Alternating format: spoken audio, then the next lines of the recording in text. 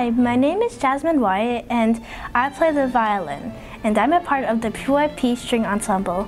Hi, my name is Rose White. I play the violin and I'm part of the PYP string ensemble.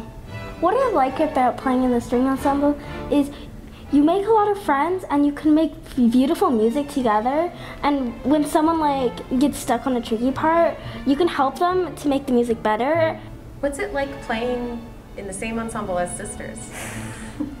Well, it's like really fun. We can hear each other. We could like play it together and it would sound really good and we can help each other on their mistakes. Hello, my name is Francis and I play the violin. I am part of PYP String Ensemble. The music is really fun. Everybody's just really nice and you just feel really at home there. I have made multiple friends and I love having friends. The music always has tricky parts in it. Those parts help me to get better.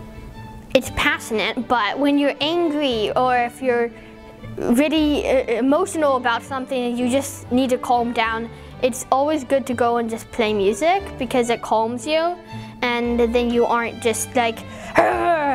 If you were going to give advice to someone who is thinking about joining YSE and auditioning, what advice would you give them? My advice is that uh, after you've learned your piece uh, and you're in your audition, don't, it's okay if you make mistakes. Everybody makes mistakes.